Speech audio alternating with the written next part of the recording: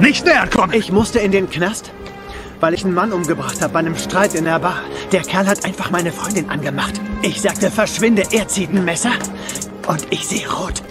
Eine Sekunde später halte ich sein blutiges Messer in der Hand und er liegt tot am Boden. So schnell bist du nicht. Eine Sekunde. Bitte tu's nicht. Du wirst verlieren. Hör auf deinen Freund. Ich hab dich gemeint, Ramal.